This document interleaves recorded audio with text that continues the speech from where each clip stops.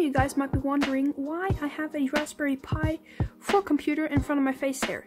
So, no, I'm not turning into NC Tech Review, but I will be building a very cool looking case for this little computer.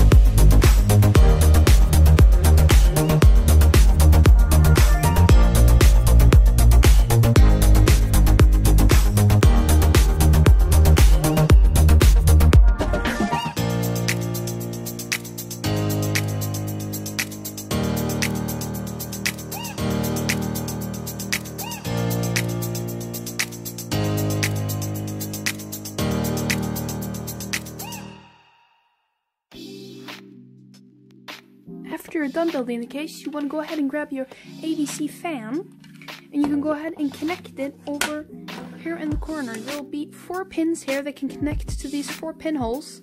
Very nicely just slip straight in there. Now the fan has power. And it's very funny because this has the perfect dimensions for this particular case.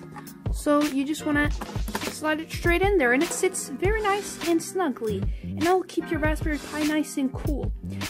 Now as I've plugged it into some power, you can see that the fan is spinning and keeping the Raspberry Pi very nice and cool.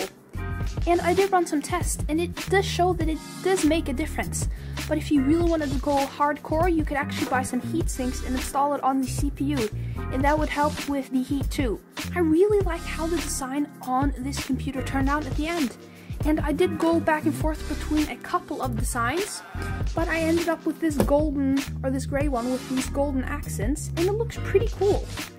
And I'm very happy with this kind of like aggressive design it has to it. And as you can see, it has access to all its ports everywhere. If we move on over to the front, we can go ahead and pop off this front panel here, and we will have access to the micro SD card slot.